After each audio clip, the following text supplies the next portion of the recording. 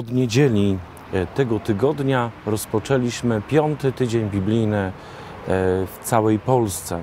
E, w diecezji włocławskiej poszczególne parafie, poszczególne kościoły, szczególnie miasta Włocławka, stały się miejscem spotkań wiernych ze Słowem Bożym, ze Słowem Pana. Słowo Boga przemawiało do ludzkich serc, miało przemienić ich życie. Dzisiaj e, natomiast w czwartek, 18 kwietnia, znajdujemy się w parafii świętego Stanisława, biskupa i męczennika we Włocławku. E, jest to kolejna, e, kolejna stacja naszego duchowego spotkania ze zmartwychwstałym Panem i z Jego Słowem, które ma nas przemienić. Razem z młodzieżą, razem z wiernymi świeckimi, którzy gromadzą się w tej parafii, chcemy dziś w kontekście Eucharystii, w kontekście ożywiającego ducha przeżyć spotkanie z Panem, który przychodzi do nas w swoim słowie.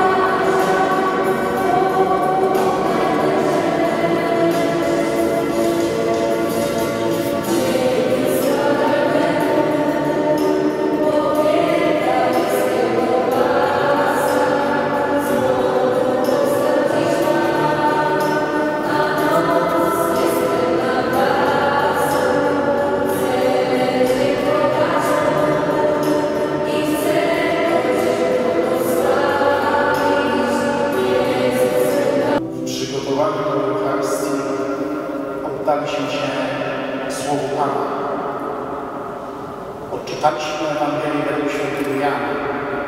Dziękuję za przygotowanie modlitwy kręgu parafii świętego Stanisława.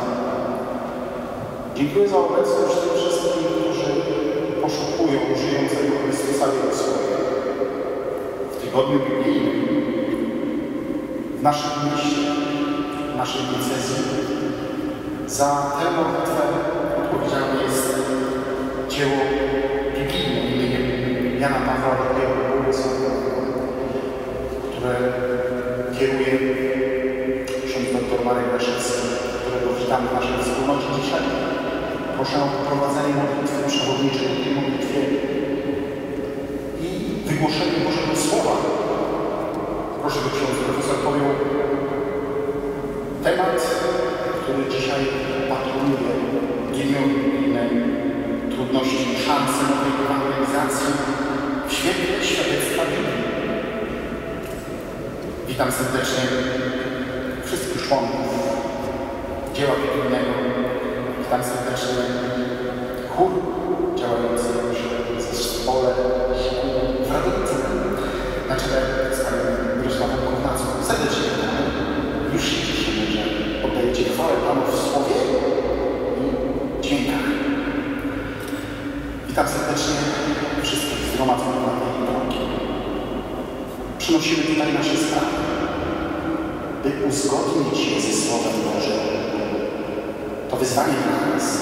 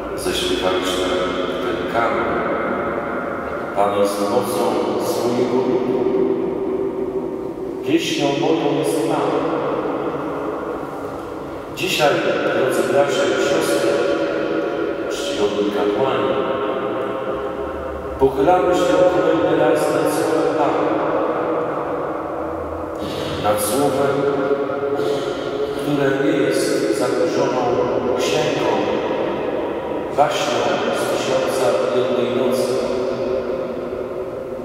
ale jest Słowem życia, o którym oświadczył sam Jezus Chrystus.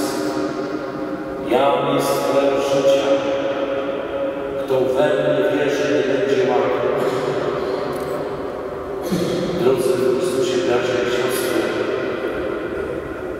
w tym piątym tygodniu biblijnym, który rozpoczął się minioną niedzielą, wędrowaliśmy po różnych wieczornikach w Włocławskiej diecezji, a szczególnie miasta Włocławka, po różnych świątyniach, aby tam wędrować ze Słowem Pana, ale nie tylko nieść księgę życia innym ludziom,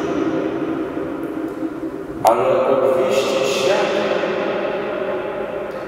że Chrystus, który nam tę księgę ofiarował, a jeszcze wcześniej jego naród,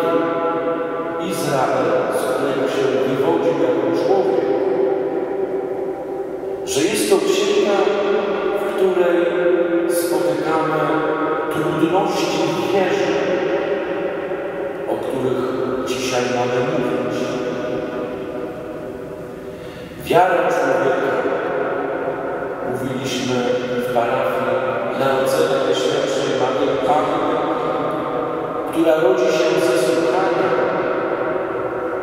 jest żywą relacją z Bogiem, moją osobistą relacją, moim doświadczeniem żywego we Jezusa. Bo inaczej moja wiara, a właściwie tylko zewnętrzne gesty będą przypominały, że jestem osobą z metry i. A każdy z nas, drodzy bracia i siostry, który przemieniony jest przez Słowo Pana, ma być Jego świadkiem. Świadkiem, który nie, nie tylko dzieli się radością ze spotkania ze Słowem Pana. Święty Paweł Apostoł często podkreśla, że Słowo Boże jest jak miecz, miecz obosieczny, który przenika naszą duszę i serce, aż do kości. I kiedy spotykamy się z różnymi bohaterami Świętego, to widzimy, że są to grzesznicy, ludzie pobożni, królowie i nędzarze, prorocy i kapłani, niewiasty, nierządnice i święte kobiety, matki, kobiety w podeszłym wieku. Każdy ze swoim doświadczeniem drogi. Z jednej strony możemy schować się za osobą Piotra, który łowi ryby, Mojżesza, który zdejmuje sandały, aby spotkać się z obecnym w kolejącym krzewie Panem. Możemy być Marią Magdaleną,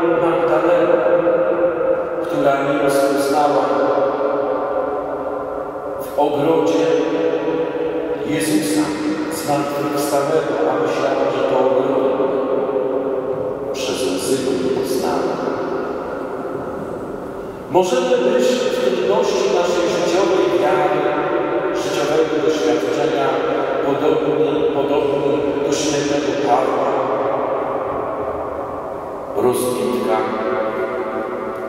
prawie ukamienowanego, wyrzuconego z miasta. Możemy być podobni do Piotra, który mówi do odźwiernej, nie znam tego człowieka. I wreszcie możemy być podobni do Tomasza, tego, który nie uwierzył, że Pan prawdziwie zmartwychwstał. I dlatego dzisiaj, drodzy bracia trudności naszej wiary, naszego doświadczenia życiowego, przychodzimy, aby dotknąć zmartwychwstałego Pana, bo On przychodzi do tego wieczoru ze swoimi, ze swoimi zranionymi dłoni, ze swoim, ze swoim przebitym sercem i mówi do Ciebie i do mnie, mimo tego, że doświadczasz trudu osamotnienia, mimo tego, że jesteś odrzucony nikt Cię nie kocha, dotknij dziś w sposób duchowy moich ran.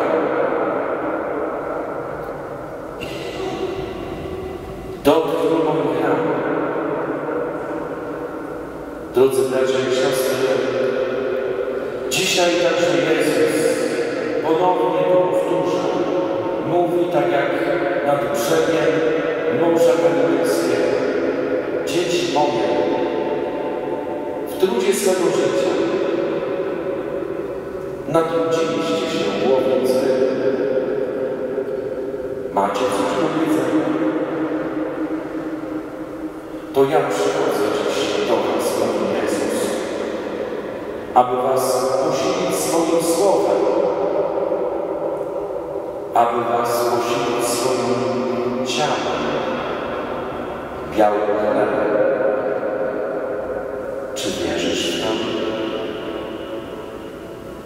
To jest ta trudność wiary.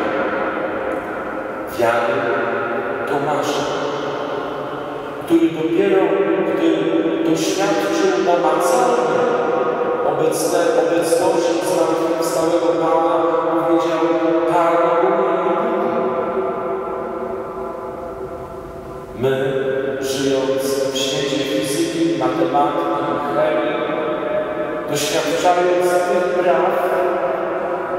mierząc się czasoprzestrzenią, godziną, minutą, przeszłością, teraźniejszością i przyszłością, nie możemy pojąć, czym jest wieczność, gdzie przebywa zmartwychwstały Pan. Dlatego też, drodzy bracia i siostry, kiedy wędrujemy po parafiach Wrocławia w piątym tygodniu biblijnym, pragniemy doświadczyć przedsmaku nieba. A tym przedsmakiem nieba, gdzie spotykamy Słowo Pana, jest właśnie Eucharystia. Pisma Świętego, drodzy bracia i siostry, nie można rozważać poza Eucharystią,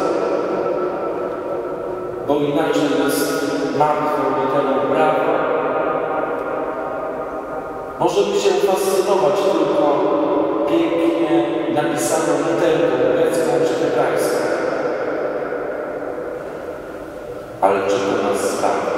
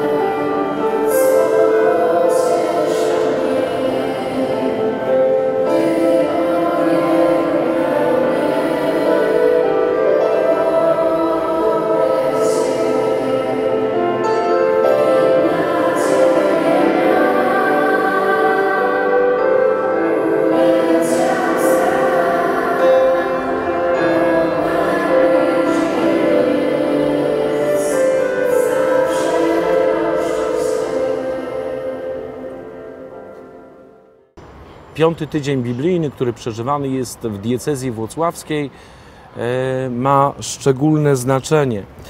E, jest on tygodniem, który ma uświadomić wiernym, że Słowo Boże, że Pismo Święte, Biblia nie jest tylko księgą historyczną, księgą, e, która opowiada o bohaterach dawnych czasów, ale jednocześnie jest księgą wciąż aktualną, do której przemawiamy także my. To my mamy wejść w sytuację poszczególnych bohaterów Pisma Świętego. To my mamy być tymi, którzy przemienią swoje życie e, w kontekście tego słowa. A Słowo Boże ma być ziarnem, które ma być wrzucone w glebę naszego serca i ma wydać owoc naszego nawrócenia. E, niech ten tydzień, tydzień e, biblijny, będzie przede wszystkim takim, mówiąc językiem Pana Jezusa, zaczynem, z którego wyrośnie wspaniały chleb, smaczny chleb naszego życia.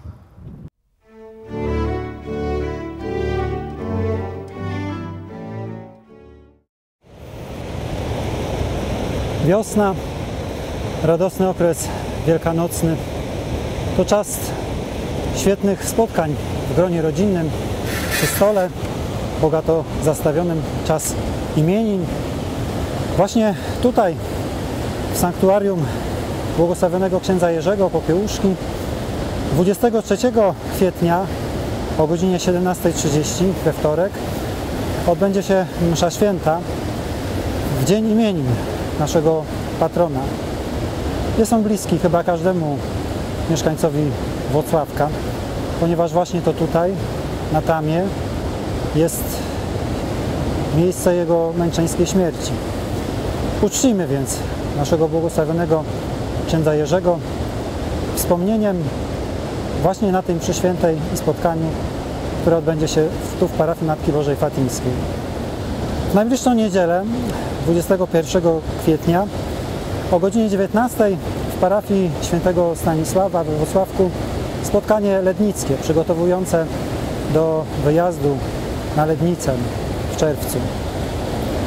W piątek 26 kwietnia w parafii świętego Ducha w Michelinie o godzinie 19.15 oaza modlitwy. W sobotę 27 kwietnia parafii Najświętszego Zbawiciela we Wrocławku od godziny 9 Sobota dla Jezusa. Spotkanie ewangelizacyjne dla wszystkich, nie tylko dla młodzieży.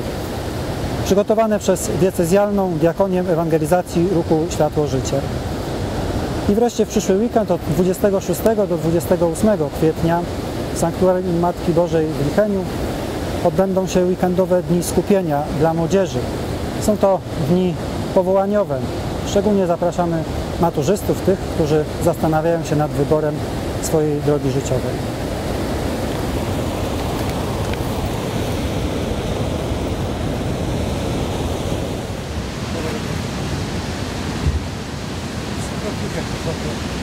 Obdarowani łaską jubileuszu 90-lecia Zgromadzenia Braci Pocieszycieli z Getsemani, pragnę serdecznie zaprosić w imieniu całej naszej wspólnoty zakonnej, w imieniu ojców i braci zakonnych do wspólnego dziękczynienia.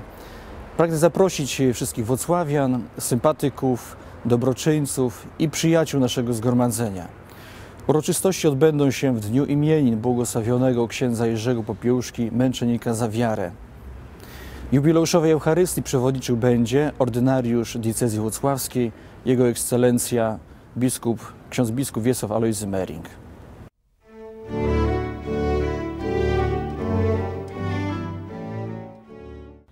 Jezus powiedział: Moje owce słuchają mego głosu, a ja znam je. Idą one za mną i ja daję im życie wieczne. Nie zginą one na wieki i nikt nie wyrwie ich z mojej ręki. Ojciec mój, który mi je dał, jest większy od wszystkich i nikt nie może ich wyrwać z ręki mego Ojca. Ja i Ojciec jedno jesteśmy.